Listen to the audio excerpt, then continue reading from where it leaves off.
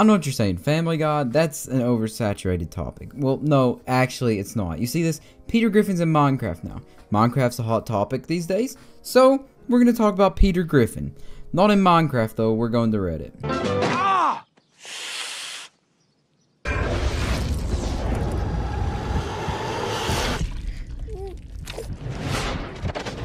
That is racist. That is racist. That is racist. People think racism's real. So, let's say Peter Griffin walks into a bar. Hey, I would like a drink. And then the bartender's like, You got nuts on your chin, dude. dude, I've had a long day. Say it one more time and I'll kill everyone at this bar, you. But wait, could it be? An angelic presence has saved the day. Oh god, he's dead. Oh no. Oh god. he's still got nuts on his chin. Oh, Peter's looking pretty thick.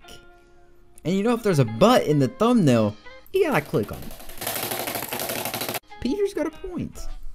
What is the reason girls are called chicks? They don't look like those ducks. The ducks are what killed Peter. We must kill them all. Maybe they do. I don't know. Peter. Peter Copter Mike. Peter Copter kinda made me laugh. Oh, oh, Peter's doing the dap. Dap, Peter. To continue on the storyline from earlier, Peter had a funeral. He was sad. No one showed up, and he wasn't buried. He still lays in the bar. To this day, actually. and he still has nuts